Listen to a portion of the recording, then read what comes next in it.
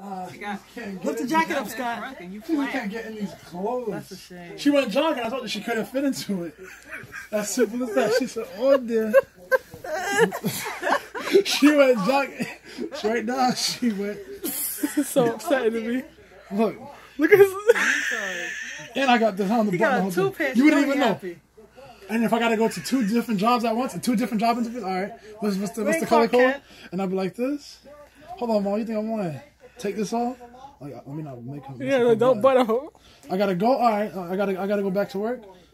They gotta see me. I got an appointment. Fair enough. Daytime, evening look. Fair enough. how many suits we gotta take off today? so how many personas do I need? I'll be right there with you, sir. Like, that was my stepbrother. no, man. Like, so how can I help you today? They, they dug and they picked themselves back up. Oh no, that was my other friend. Bob, Bob, Bob, Scott, y'all came here for ignorance. That's sad.